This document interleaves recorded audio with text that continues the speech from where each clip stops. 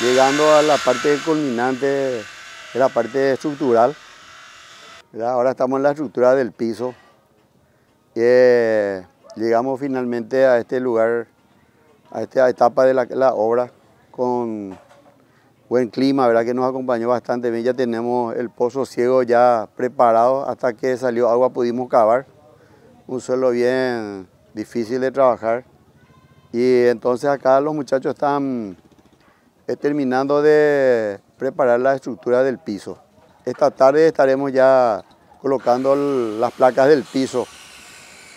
Y nos queda apenas las paredes y las instalaciones. Era que seguramente mañana, con buen tiempo, ya vamos a tener culminado. Prácticamente con, con hoy tenemos cinco días. Esta obra, esta casita tiene de ancho 5 metros y de largo tiene 6 metros 30. Eh, luego vamos a pasar seguramente a hacer algún, algún ajuste, algún arreglo acá, lo que ya tienen, para usar como cocina o algo así, ¿verdad? Esta semana se inaugura, esta semana inauguramos. Participan alumnos de distintos cursos de la facultad. Tenemos participación de gente eh, local también, vecinos, ¿verdad? Que vino a trabajar con nosotros, a ayudarnos.